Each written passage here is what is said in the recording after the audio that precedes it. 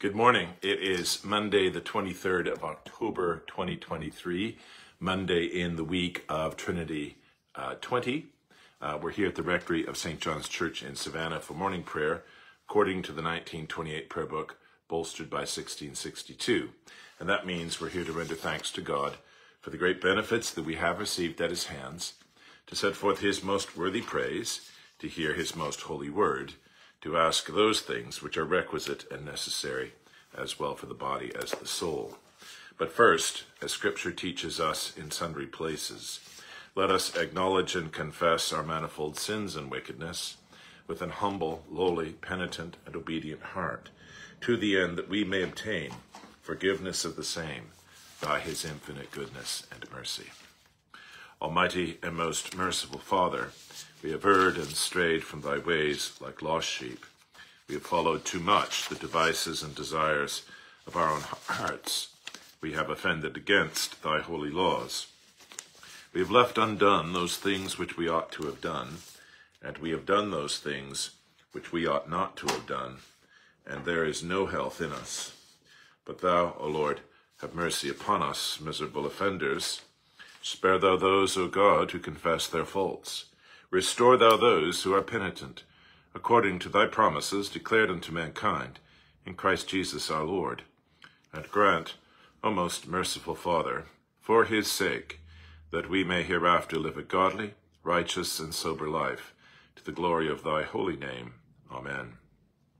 Almighty God, the Father of our Lord Jesus Christ, who desireth not the death of a sinner, but rather that he may turn from his wickedness and live, hath given power and commandment to his ministers to declare and pronounce to his people, being penitent, the absolution and remission of their sins. He pardoneth and absolveth all those who truly repent and unfeignedly believe his holy gospel. Wherefore let us beseech him to grant us true repentance and his Holy Spirit, that those things may please him which we do at this present, and that the rest of our life hereafter may be pure and holy, so that at the last we may come to his eternal joy through Jesus Christ our Lord. Amen. Our Father, who art in heaven, hallowed be thy name. Thy kingdom come, thy will be done, on earth as it is in heaven. Give us this day our daily bread, and forgive us our trespasses, as we forgive those who trespass against us. And lead us not into temptation, but deliver us from evil. For thine is the kingdom, and the power, and the glory, forever and ever. Amen. O Lord, open thou our lips, and our mouth shall show forth thy praise. O God, make speed to save us. O Lord, make haste to help us. Glory be to the Father, and to the Son, and to the Holy Ghost, as it was in the beginning, is now, and ever shall be, world without end. Amen. Praise ye the Lord. The Lord's name be praised. O come, let us sing unto the Lord. Let us heartily rejoice in the strength of our salvation. Let us come before his presence with thanksgiving and show ourselves glad in him with psalms. For the Lord is a great God and a great King above all gods. In his hand are all the corners of the earth, and the strength of the hills is his also. The sea is his, and he made it, and his hands prepared the dry land. O come, let us worship and fall down, and kneel before the Lord our Maker. For he is the Lord our God, and we are the people of his pasture and the sheep of his hand. Today, if ye will hear his voice, harden not your hearts, as in the provocation, and as in the day of temptation in the wilderness, when your fathers tempted me, proved me, and saw my works.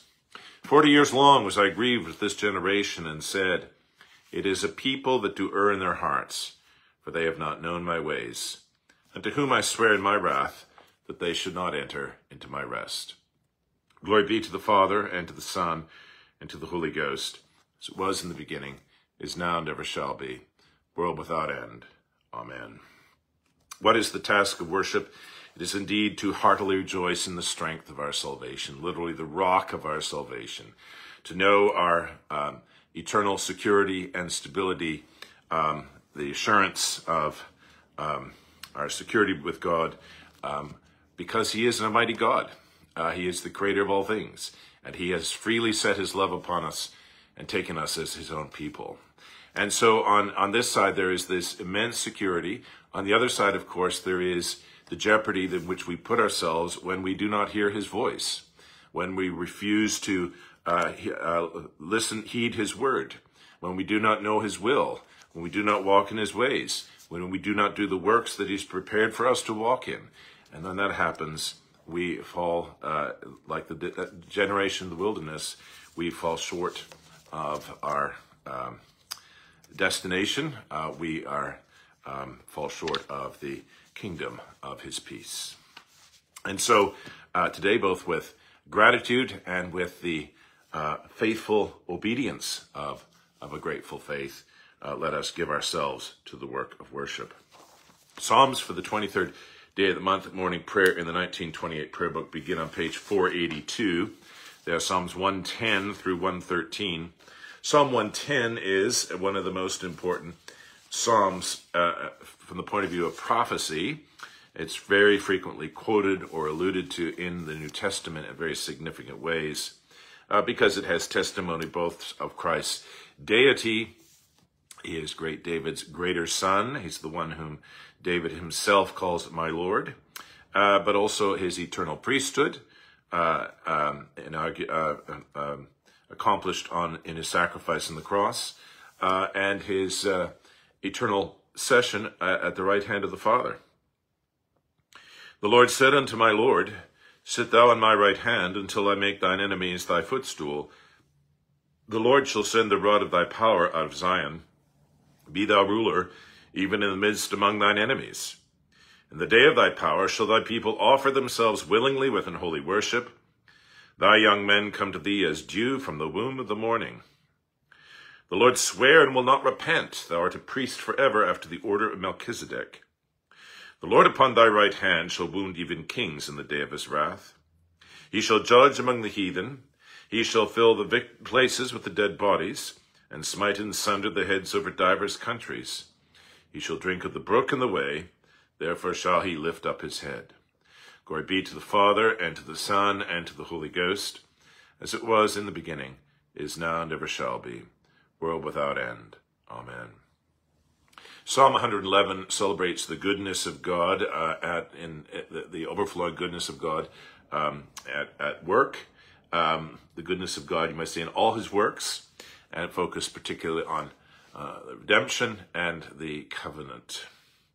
I will give thanks unto the Lord with my whole heart, secretly among the faithful and in the congregation. The works of the Lord are great sought out of all them that had pleasure therein. His work is worthy to be praised and had an honor, and his righteousness endureth for ever. The merciful and gracious Lord hath so done his marvellous works, that they ought to be had in remembrance. He hath given meat unto them that fear him. He shall ever be mindful of his covenant. He has showed his people the power of his works, that he may give them the heritage of the heathen. The works of his hands are verity and judgment. All his commandments are true. They stand fast for ever and ever, and are done in truth and equity. He sent redemption unto his people. He hath commanded his covenant forever. Holy and reverend is his name. The fear of the Lord is the beginning of wisdom. The good understanding of all they that do thereafter. His praise endureth forever. Glory be to the Father, and to the Son, and to the Holy Ghost, as it was in the beginning, is now, and ever shall be, world without end. Amen. Psalm 112 is a sequel to Psalm 111. The focus shifts from the works of God to the works of the godly man. Blessed is the man that feareth the Lord. He hath great delight in his commandments. His seed shall be mighty upon earth. The generation of the faithful shall be blessed. Riches and plenteousness shall be in his house, and his righteousness endureth for ever. Unto the godly there ariseth a light in the darkness, he is merciful, loving, and righteous. A good man is merciful and lendeth, and will guide his words with discretion. For he shall never be moved, and the righteous shall be had in everlasting remembrance. He will not be afraid of any evil tidings, for his heart standeth fast, and believeth in the Lord.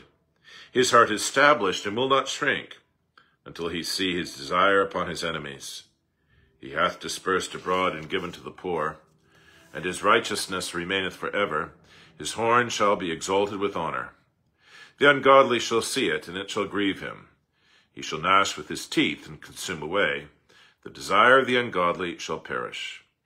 Glory be to the Father, and to the Son, and to the Holy Ghost, as it was in the beginning, is now, and ever shall be, world without end. Amen. And Psalm 113 celebrates the um, majesty of the Most High God, which is revealed in his mercy to those who are most low. Praise the Lord, ye servants. Oh, praise the name of the Lord. Blessed be the name of the Lord from this time forth forevermore. The Lord's name is praised from the rising up of the sun unto the going down of the same. The Lord is high above all nations, and his glory above the heavens. Who is like unto the Lord our God, that hath his dwelling so high, and yet humbleth himself to behold the things that are in heaven and earth? He taketh up the simple out of the dust, and lifteth the poor out of the mire, that he may set him with the princes, even with the princes of his people. He maketh the barren woman to keep house, and to be a joyful mother of children. Glory be to the Father, and to the Son, and to the Holy Ghost, as it was in the beginning, is now, and ever shall be, world without end. Amen. Here beginneth the book of Proverbs, an instruction in practical wisdom complementary to the teaching of the law. We call this wisdom, a prime example of what's called wisdom literature. So you have law and you also have wisdom or instruction and wisdom. So there's a real overlap there, but they have a distinct quality. The Proverbs, and the uh, preeminent example of wisdom in Scripture is Solomon um, in his uh, uh, wise discernment as a judge uh, and his prayer for wisdom rather than riches or honor. And uh, so it is uh, with the figure of Solomon that many of the these proverbs, these wise sayings, are associated. The Proverbs of Solomon, the son of David, king of Israel, to know wisdom and instruction, to perceive the words of understanding, to receive the judgment of uh, wisdom, justice, and judgment and equity, to give subtlety to the simple, to the young man knowledge and discretion. A wise man will hear and will increase learning, and a man of understanding shall attain unto wise counsels, to understand a proverb and the interpretation, uh, the words of the wise and their dark sayings. And now after that little prologue, he begins with actually an idea we've just heard in Psalm 111. The fear of the Lord is the beginning of knowledge, but fools despise wisdom and instruction. Fear here means not panic, servile fear of punishment, uh, but above all, reverence, awe, uh, a loving and faithful recognition of the overwhelming greatness of God. My son, hear the instruction of thy father, and forsake not the law of thy mother. For they shall be an ornament of grace unto thy head, and chains about thy neck. My son, if sinners entice thee, consent thou not. If they say, Come with us, let us lay wait for blood, let us lurk privily for the innocent without cause, let us swallow them up alive as the grave, and whole as those that go down into the pit. We shall find all precious substance, we shall fill our houses with spoil, plunder. Cast in thy lot among us. Let us all have one purse. My son, walk not thou in the way with them. Refrain thy foot from their path. For their feet run to evil, and make haste to shed blood. Surely in vain the net is spread in the sight of any bird, and they lay wait for their own blood. They lurk privily for their own lives.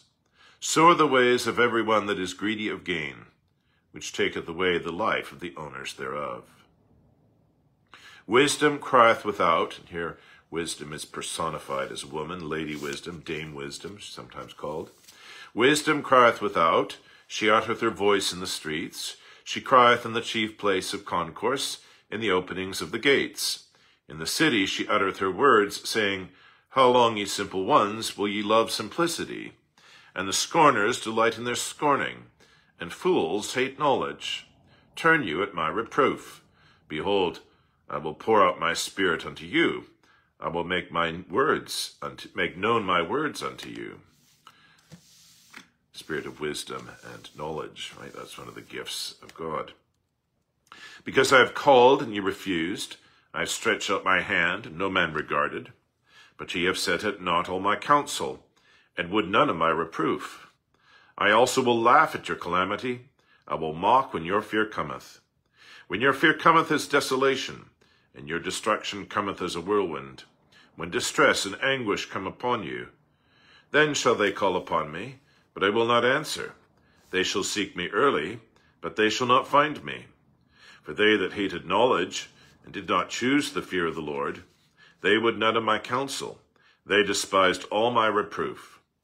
Therefore shall they eat the fruit of their own way, and be filled with their own devices. For the turning away the simple shall slay them, and the prosperity of fools shall destroy them. But whoso hearkeneth unto me shall dwell safely, and shall be quiet from fear of evil. Here endeth the first lesson. Blessed art thou, O Lord God of our fathers, praised and exalted above all forever. Blessed art thou for the name of thy majesty, praised and exalted above all forever. Blessed art thou, temple of thy holiness, praised and exalted above all forever. Blessed art thou that beholdest the depths and dwellest between the cherubim, praised and exalted above all forever. Blessed art thou in the glorious throne of thy kingdom, praised and exalted above all forever. Blessed art thou in the firmament of heaven, praised and exalted above all forever. Let us bless the Father and the Son and the Holy Ghost. Praise him and magnify him forever. Amen. Here beginneth the epistle of Paul the Apostle to Titus. Like the epistle to Timothy that we've just read, Paul is giving advice uh, to Titus as one of his um, one of his missionary team who's he, to whom he's given pastoral authority uh, in newly established churches in the Greek island of Crete. And the theme of this uh, letter is very much the way that the gospel produces godliness. Um, and um, uh, so there's a a, a nexus there which uh, cannot be divided between faith and works. Paul, a servant of God and an apostle of Jesus Christ, according to the faith of God's elect, and the acknowledging of the truth which, which is after godliness, there's that word right at the beginning, in hope of eternal life, which God that cannot lie promised before the world began but hath in due times manifested his word through preaching, which is committed unto me according to the commandment of God our Saviour. To Titus, mine own son after the common faith, grace, mercy, and peace from God the Father and the Lord Jesus Christ our Saviour. For this cause left I thee in Crete, that thou shouldst set in order the things that are wanting, and ordain elders in every city as I had appointed thee elders, let us say presbyters or priests. So um, Titus has a kind of episcopal authority here. If any be blameless, the husband of one wife, having faithful children, not accused of riot or unruly, for a bishop, and here the term bishop is used interchangeably pretty well with presbyter. The distinction of the two did not come till somewhat later in the first century. For a bishop must be blameless as the steward of God, not self-willed, not soon angry, not given to wine, near striker, not giving to filthy lucre, but a lover of hospitality, a lover of good men, sober, just, holy, temperate. Notice those virtues there, both biblical and um, Greek, Hellenic. Holding fast the faithful word as he hath been taught, that he may be able by sound doctrine both to exhort and to convince the gainsayers, uh, those who deny it. But there are many unruly and vain talkers and deceivers, especially they of the circumcision, whose mouths must be stopped, who subvert whole houses, teaching things what they ought not, for filthy lucre's sake. One of themselves, even a prophet of their own, said, The Cretans are always, li- always liars, evil beasts, slow bellies. This witness is true. A little irony there. Wherefore rebuke them sharply, that they may abound in the faith. Uh, so there's a contrast here the God that cannot lie of verse 2, and the Cretians who are always liars. Not uh, therefore rebuke them sharply, that they may be sound in the faith, not giving heed to Jewish fables and commandments of men that turn from the truth. Unto the pure, all things are pure. So much for the ritual purity laws. But unto them that are defiled and unbelieving is nothing pure, but even their mind and conscience is defiled. They profess that they know God, but in works they deny him. So, if you actually know God, your works are going to be consistent with that. But if your works deny, uh, uh, uh, are inconsistent, then you, in fact, you don't know God. Being abominable and disobedient, and unto every good work reprobate. Um, but speak thou the things which become sound doctrine, that the aged men be sober, grave, temperate, sound in faith, in charity, in patience. The aged women likewise, that they be in behavior as becometh holiness, not false accusers, not given to much wine, teachers of good things, that they may teach the young women to be sober, to love their husbands, to love their children, to be discreet, chaste, keepers at home, good, obedient to their own husbands, that the word of God be not blasphemed. Young men likewise exhort to be sober minded, in all things showing thyself a pattern of good works, in teaching or doctrine, showing uncorruptness, gravity, sincerity, sound speech that cannot be denied, that he that is of the contrary part may be ashamed, having no evil thing to say of you. Here endeth the second lesson. We show forth our thankfulness to God, not uh, with our lives, uh, but also first with our lips. Blessed be the Lord God of Israel, for he hath visited and redeemed his people, and hath raised up a mighty salvation for us in the house of his servant David, as he spake by the mouth of his holy prophets, which have been since the world began that we should be saved from our enemies and from the hand of all that hate us, to perform the mercy promised to our forefathers, and to remember his holy covenant, to perform the oath which he sware to our forefather Abraham, that he would give us, that we, being delivered out of the hand of our enemies, might serve him without fear, in holiness and righteousness before him all the days of our life. And thou, child, shalt be called the prophet of the highest for thou shalt go before the face of the Lord to prepare his ways, to give knowledge of salvation unto his people, for the remission of their sins, through the tender mercy of our God, whereby the day spring from on high hath visited us, to give light to them that sit in darkness and in the shadow of death, and to guide our feet into the way of peace. Glory be to the Father, and to the Son, and to the Holy Ghost, as it was in the beginning, is now, and ever shall be, world without end. Amen. I believe in God, the Father Almighty, maker of heaven and earth, and in Jesus Christ, his only Son, our Lord, who was conceived by the Holy Ghost, born of the Virgin Mary, suffered under Pontius Pilate, was crucified, dead, and buried. He descended into hell. The third day he rose again from the dead. He ascended into heaven, and sitteth on the right hand of God the Father Almighty. From thence he shall come to judge the quick and the dead.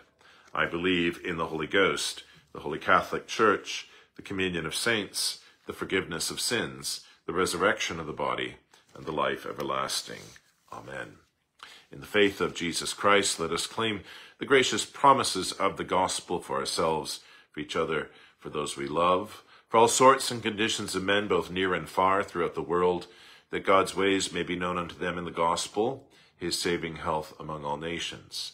For Christ's holy Catholic Church and its unity in the truth of the Word of God and, uh, and brotherly love and charity, and for the faithfulness of the clergy and people of its churches among all nations, and here in Savannah and especially at St. John's. For our country and all countries of the world, for their peace, order, and good government, and the deliverance of the peoples of the world from misery, strife, and oppression. Bid your prayers especially for uh, Israel and the people of Gaza and West Bank, they may be uh, delivered from the terror uh, and folly of Hamas, uh, for also for the people of Ukraine, of North Korea, of Darfur, of Xinjiang. Bid your prayers for all those who suffer in mind, body, or estate, uh, that the Lord would comfort and relieve them according to their several necessities, giving them patience under their sufferings and a happy issue from all their afflictions. Bid your prayers for those who are hospitalized in nursing or hospice care, those undergoing or recovering from surgery, those who are suffering critical illness, debilitating infirmity, chronic pain, cognitive impairment. Those dealing with anxiety, depression, or mental illness, those facing the challenge of sobriety. Those who are traveling, the women in childbirth and the children they're bearing, for those who work in dangerous occupations, for the very young and the very old, for widows, widowers, and orphans, for the abandoned and the abused, the hungry and the homeless, refugees, prisoners, and captives. I bid your prayers especially for those abducted by uh, Hamas uh, and uh, also for the um, uh, for Evan Gershkovich and Jimmy Lai. For all those who are grieving, especially the family of Gary Schubert, who died this past Saturday, and for those who are dying, and for those who have departed this life in Christ and are at rest in him, that with them we too may rest in peace and rise to glory. And this day, that being safe under the protection of the divine mercy, uh, we may serve and please the Lord in everything that is given us both to do and to suffer, not with eye service as men pleasers, but with singleness of heart, fearing God, as the servants of Christ. Lord, have mercy upon us. Christ, have mercy upon us. Lord, have mercy upon us. Our Father, who art in heaven, hallowed be thy name. Thy kingdom come, thy will be done, on earth as it is in heaven. Give us this day our daily bread, and forgive us our trespasses, as we forgive those who trespass against us. And lead us not into temptation, but deliver us from evil. Amen. O Lord, show thy mercy upon us and grant us thy salvation. O Lord, save the state, and mercifully hear us when we call upon thee. Endue thy ministers with righteousness, and make thy chosen people joyful. O Lord, save thy people, and bless thine inheritance. Give peace in our time, O Lord, for it is thou, Lord, only, that makest us dwell in safety. O God, may clean our hearts within us, and take not thy Holy Spirit from us. O Almighty and most merciful God, of thy bountiful goodness, keep us, we beseech thee, from all things that may hurt us, that we, being ready both in body and soul, may cheerfully accomplish those things which thou commandest. Through Jesus Christ, thy Son, our Lord, who liveth and reigneth with thee in the Holy Ghost ever, one God, world without end.